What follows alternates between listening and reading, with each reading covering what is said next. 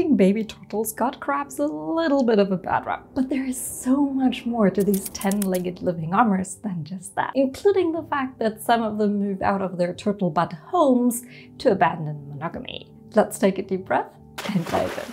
Crabs are closely related to the shrimp, lobsters, and crayfish we already talked about.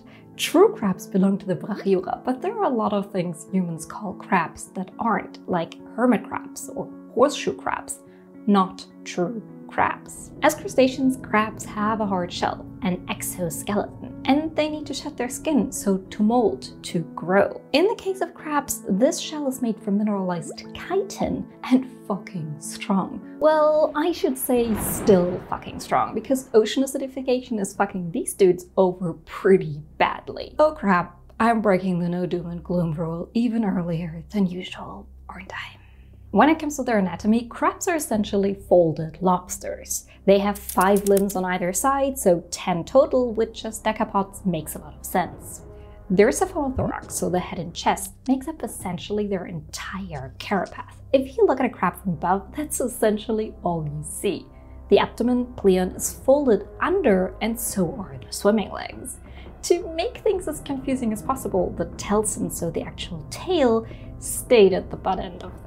Like lobsters, they have claws. The two claws are different, but how different depends on the species. Fiddler crabs have a pretty large one and a tiny one, while others are more equal. Fun fact, there's actual research into which shade of orange the female fiddler crab prefers in male fiddler crabs, researchers have weird ideas sometimes. Crabs can be found all over the world, in oceans, freshwater habitats, and on land. They all need some kind of water for breeding though. In some crabs, that just means a little bit of moist moss while others actually return to the sea for the breeding part of life. Spider crabs are serious nightmare material for some people.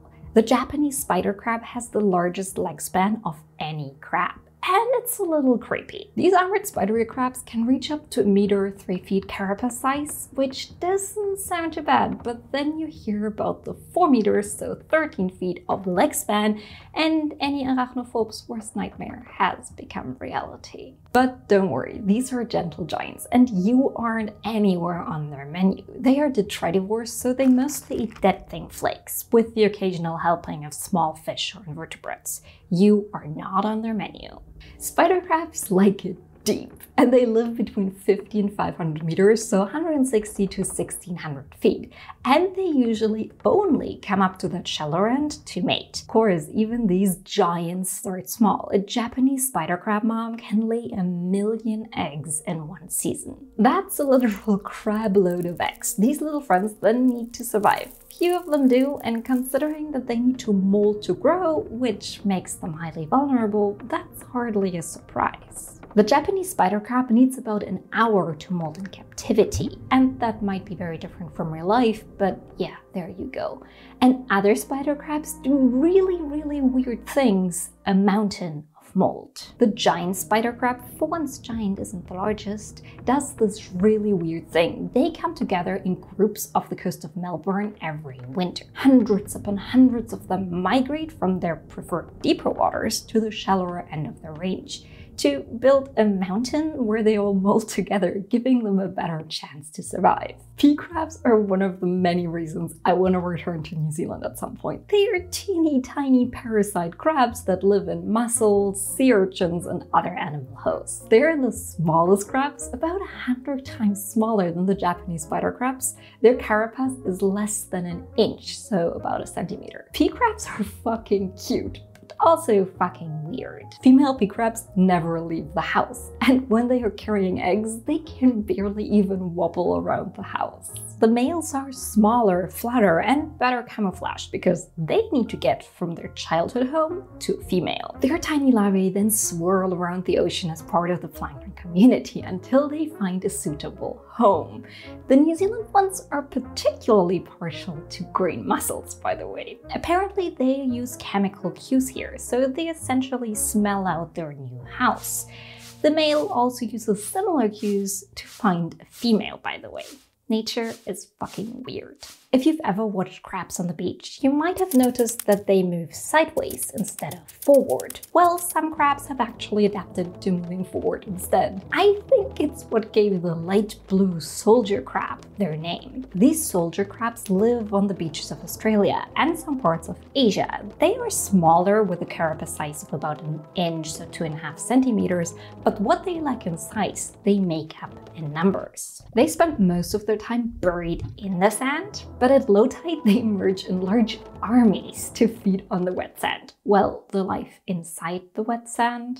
Watching them march in this absolutely not crab-like fashion is a tiny bit creepy, but also really fascinating, and I hope that I can capture it at some point. It's getting grayer and colder here in Germany, and I'm already longing for anywhere that isn't here, essentially, but crabby conditions aside. Let's move on to our baby turtles. When baby turtles emerge from the sand, they are adorable, but fucking vulnerable. Between light pollution sending them the wrong way, seagulls snatching them up, and our little crabby friends, few of them actually reach the open ocean, and then there other dangers also lurk.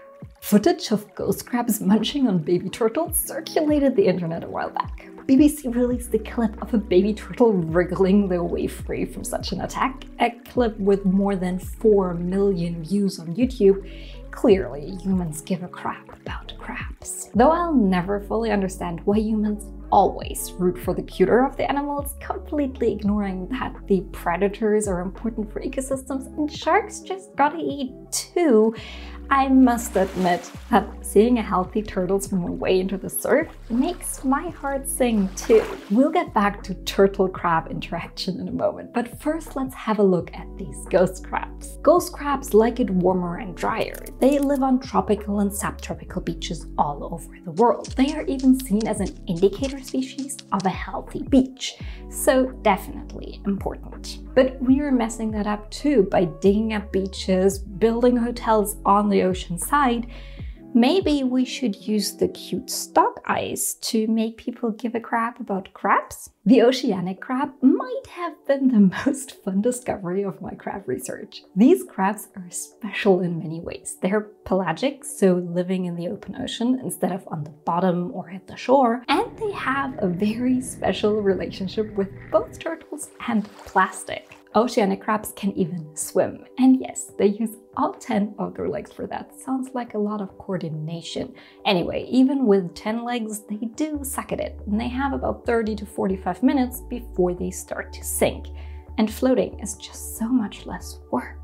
So these oceanic crabs inhabit anything that can be considered an island. They might live on sargassum seaweed, wood, floating plastic debris, or in the butt crack of a loggerhead turtle. The gap is large enough for a couple to stay there, together in happy monogamy. But with more and more plastic debris in the ocean, there are more large islands available for our 10-legged friends and it's turning them away from monogamy. On these larger plastic islands, instead of a couple living there alone, multiple couples live there together. And these couples then exchange sexual partners and everyone ends up fucking everyone.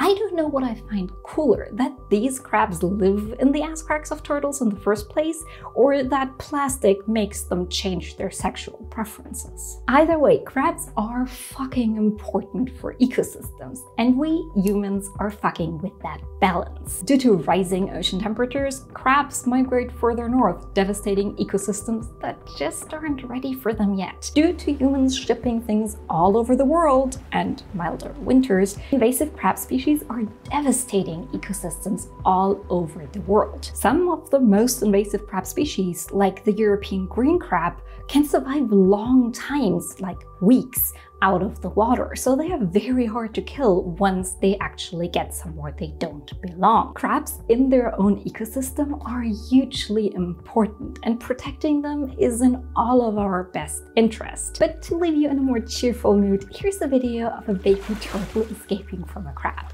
Poor crab, but fucking cute turtle. To keep learning, learn about lobsters next. After all, crabs are just folded over lobsters, right?